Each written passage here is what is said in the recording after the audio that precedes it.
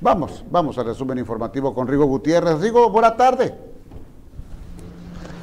Maestro, ¿qué tal? Muy buenas tardes, buenas tardes al auditorio. Este es el resumen de primera mano. A los primeros minutos de este lunes 13 de septiembre, ante el Poder Legislativo, Alfonso Durazo rindió protesta como gobernador constitucional del estado de Sonora para el periodo 2021-2027. La primera acción del gobernador de Sonora fue tomarle protesta a integrantes del gabinete legal y ampliado.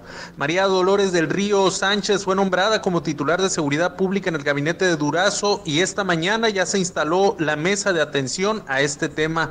También la primera manifestación para el nuevo gobierno, enfermos con necesidad de hemodiálisis se quejan de que no hay insumos en el Hospital General del Estado.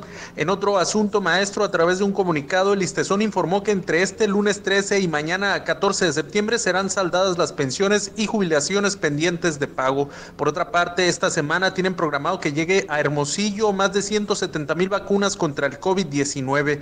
En temas policiales, esta madrugada en Ciudad Obregón, dos personas murieron y una más resultó herida en medio de una balacera que se desató en una fiesta al sur de esa ciudad. A nivel nacional, organizaciones pro vida protestan en la Suprema Corte de Justicia por la despenalización del aborto y tras la caída por varias horas del sistema de BBVA, la institución bancaria explica que se debió a un error interno generado por ellos mismos. Esto es parte de la información. Muchas gracias. Muy buenas tardes.